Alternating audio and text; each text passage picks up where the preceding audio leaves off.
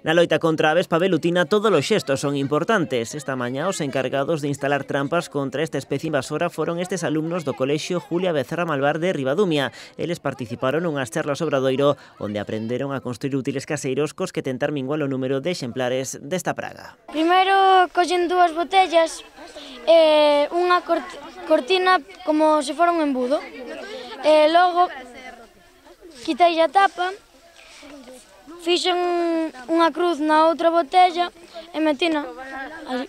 Collendo as botellas, e cortei unha por aquí, máis ou menos, fixenlle a unha unha buraquiño pequeno e o cacho da outra metiño por aquí.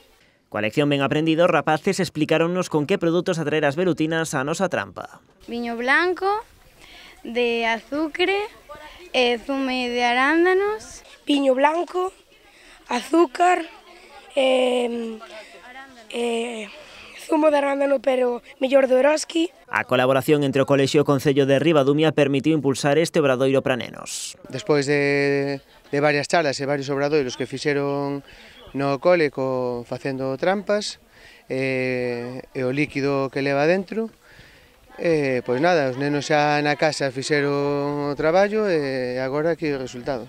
Esas trampas quedaron instaladas hoxe nos xardíns de Quinteiro da Cruz, un espazo que pola gran cantidade de camelias atrae a numerosos exemplares de velutinas.